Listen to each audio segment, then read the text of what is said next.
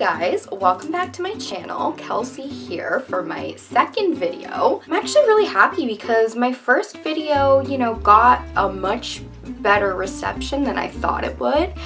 There were a lot of comments and likes and, and views and it just, um, it's nice to know that people are watching. Thank you to everybody who watched and liked and commented and even subscribed to me. It was a great positive reinforcement to keep going and keep doing this because it's it's been I guess a dream of mine for a while. So it was nerve-wracking to get that first video out there, but I did it and like I said, the response was great reinforcement. So I'm gonna keep doing it. Stuck with me for a while, I guess. I just want to shift gears on my second video and I want to make this video I guess more lighthearted and fun because my first video it was pretty serious. I love to make people laugh. You know I consider myself you know, a pretty funny girl. Everybody considers themselves hilarious, let's be honest here. I, I like to put a smile on people's faces. So this one is going to be like I said, just more fun, more lighthearted, you know, not such a serious topic. So today what I want to talk about is having a crush and women in particular, how I guess obsessed and crazy we can get when we have a crush. It doesn't matter who you are, I feel like you've had this experience before where you've had a crush. I'm not gonna lie, I myself have had a pretty sordid stalking past. Nothing like crazy, like don't call the authorities, like I wasn't in prison, but like I've had pretty intense crushes and I've I've found myself doing pretty questionable things and I've found myself in situations where, you know, I take a step back and look at my life and I'm like, how the hell did I get to this point? I'm in my 20s and on the internet and admitting these things and I'm just like, what am I doing? But you know what? We're gonna go for it. I just want to start off by saying crushes are called crushes for a reason because most of the time, more often than not, when you have a crush on somebody, it crushes you because they don't notice you or they don't like you back or you're invisible. So I think that's why it's called a crush because it, it, gets sad after a while, you know, and you, you still, you cling on to that hope, even if they're not noticing you. As time goes on, it gets harder and harder. I think I'm gonna tell you guys about one of my first experiences with a really bad crush. I was in high school and I was it was grade 9, you know, I was 14 years old. I feel like high school is the time when you get all your embarrassing moments out there you know? You, you do questionable shit. You're confused at life and and who you are as a person and you know proper social protocol. You've been introduced to this big scary world. You do a lot of confusing and questionable crap and i'm going to talk about one of those times. So my first experience with a crush was when i was in grade 9 like i said and i just got to this new school with thousands of people and it was just such a crazy experience and there was was a, one, this guy in one of my classes, one I think it was my religion class, and you know, he had like the flippy skater hair that was really big when I was in high school. If you had, if you were a guy and you had that flippy skater hair, you were like instant, you know, lady boner. So he had like the flippy skater hair and I just, for whatever reason, you know, looking back on it now, I'm just like, like what was it about him? But you know, for whatever reason, I was just smitten, smitten, smitten. So I remember the first really embarrassing moment I ever had with a crush was I so obviously knew this guy's name. He was in my class and I, I actually looked him up in the phone book and I found his like his family name, his phone number, his address. I don't know why, but I, I, told my friends and I was like, yeah, like I found him in the phone book. I know where he lives, like joking around. Like I was never gonna stalk his freaking house. Like I don't even know why I looked it up, to be honest. So I wasn't gonna be like freaking sitting in his tree with binoculars, you know, like freaking hiding in his closet with a camera or anything, but I just, I looked up his name in the phone book and one of my friends, I mean, bless her, love her to death, but she told him and she, she was like, insert name here, Kelsey looked you up in the phone book. I don't know why she did, but whatever, it happens.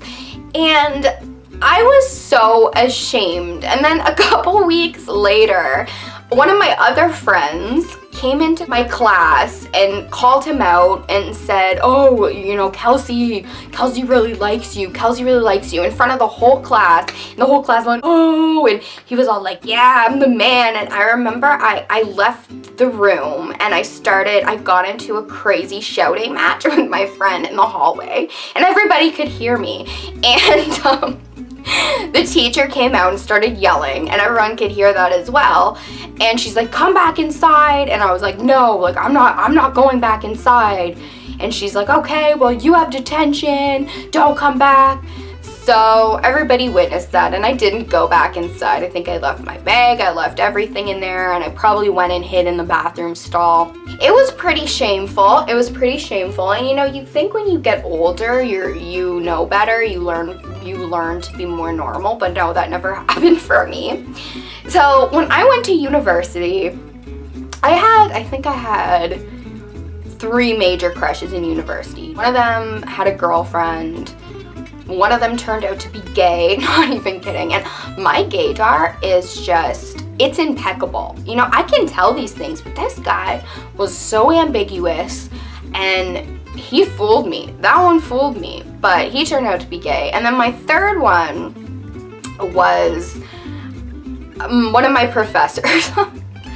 And well, he wasn't like a full-fledged professor. Well, I guess he was, but he was still working on his PhD. So he's very young. He was in his late 20s. He was still working on his PhD. So he's one of those kind of like student professors. So in my mind, I was like, oh man, that means he's accessible. We can date. so, I don't know. I think I was 21 at this point and like I said, from 14 to 21, you'd think you would learn better. I never did. so I was in love with this professor and he, I was in his class, but he clearly didn't know I existed. He called me Chelsea, he called me Kelly, and in my mind I was like, well, if you put Chelsea and Kelly together, it makes my name Kelsey, so he knows me. But he, he didn't. I had to do a presentation in his class. So I had to go up there and give, I think it was like a half hour or something presentation on some some play or some novel we were reading because I was a um, an English specialist in school. Holla! That's why I'm um, unemployable. But anyway, that's a, that's a topic for a whole nother video. but yeah, so I was an English specialist, so I was doing a presentation on some play or some novel and I, I bombed so bad because I'm not good at public speaking. I'm awkward in front of this freaking camera. Imagine me in front of people. No, like it's not pretty. I did such a bad job. I bombed so hard and I was so nervous because like I said, I was already shit at public speaking, but I also had the man that I, you know, pictured my kids with sitting in front of me, watching me, scrutinizing me and marking me so I bombed so bad. I started swearing in Italian and I don't even say, I was like, oh, because I, I lost track of what I was going to say. I was like, oh, madre di Dio. And I was like, what the fuck? I don't even know how to speak Italian. It was, it was weird. It was really, really weird. And I, he, he failed me. I got a 60, which I mean isn't a fail, but like at my school, that was just the bare minimum of passing. You needed a 60 to pass. But whatever. And I remember at the end of the year, we had to write this um, end of the year essay. And he, he put it on my desk and it was really thick, I guess, because it was a long essay and he's just like, oh, here you go. And I was like, oh, you got such a thick package there for me. I kid you not. I'm not making this shit up. Like, you couldn't even write this shit. The look on his face like he looked like he wanted to leave the country, you know, join witness protection program, go and freaking, okay, that's my cat. I gotta let him out of the room. One second. Okay, I'm back. Um, but anyway, he looked like he wanted to assume a whole new identity and just hide from me. So after that happened, you know, I was out of his class. I hadn't seen him in a while. I think I started fourth year after that. And you think I would be over it?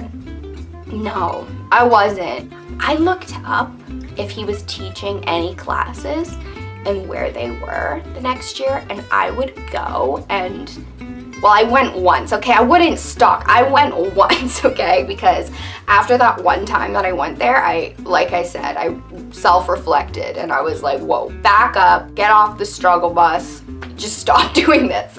But anyway, so I went to his class once and I like, there were no windows into the room and I like pressed my ear to the door and I heard his voice and he was so cute. You know, he was young, he had an accent, an Irish accent, and he had this snaggle tooth and I would just stare up into it every time he talked to me and I was just like, oh man, my child is gonna have that beautiful snaggle tooth. Anyway, so I heard his voice and I was like, that's him, that's him. So I went in the lobby of the building and I knew he would be getting out of class soon. So I sat there and I saw him. Can't even believe I'm admitting this shit, you know? To be honest, I can't even believe that I'm putting this on the internet, whatever. So he walked out of the building to, I guess, his next class, and it was raining, and he had an umbrella, and I, I started following him. God knows why.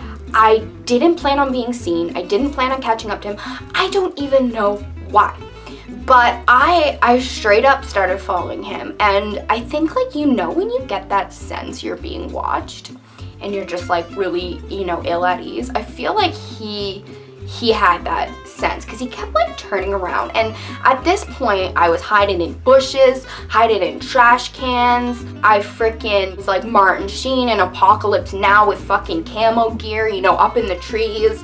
It it got pretty messy but I'm proud to say I'm not proud of anything in this vlog but you know I'm proud to say that was the very last time I ever stalked anyone because I realized how ridiculous it was just when girls have crushes, you know, my best friend, she, I remember, this really resonated with me. She, she called me one day and said, uh-oh, Kelsey, I, I have a crush.